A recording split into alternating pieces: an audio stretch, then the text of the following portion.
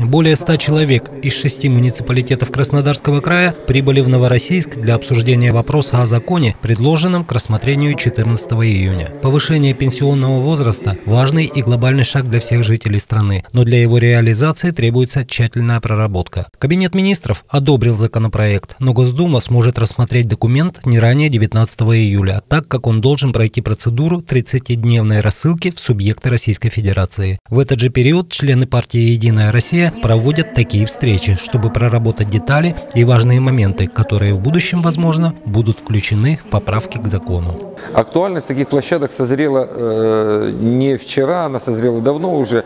Э, мы уходим от кулуарных решений.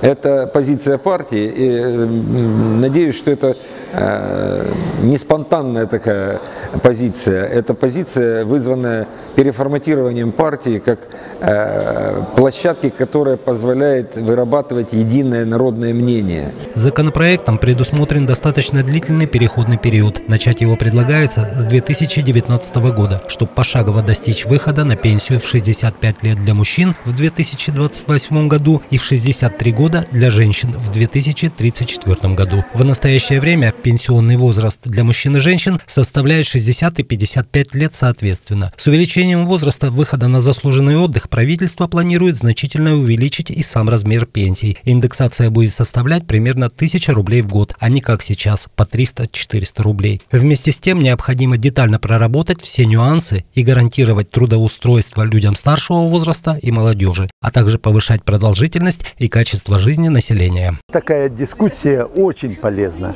И э, я бы сказал, что нам необходимо ее продолжить, продолжить на более широкую аудиторию, с тем, чтобы люди, в общем-то, в обсуждении нашли вот это рациональное зерно, почему правительство пошло на а, вот этот шаг. Конечно, проект э, на сегодняшний день ну, достаточно жесткий. А, нужно все-таки с учетом мнения найти вот, э, обоснованное компромиссное решение, которое бы пошло на пользу и жителям, и правительству, и в целом нашему государству. Потому что э, ну, если возник вопрос, он на пустом месте не э, возникает, не рождается. Значит, есть тому причина.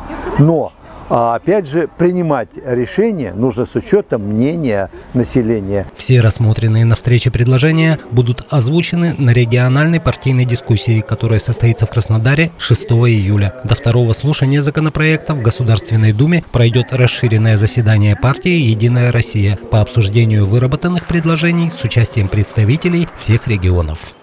Руслан Душевский, Анапа регион.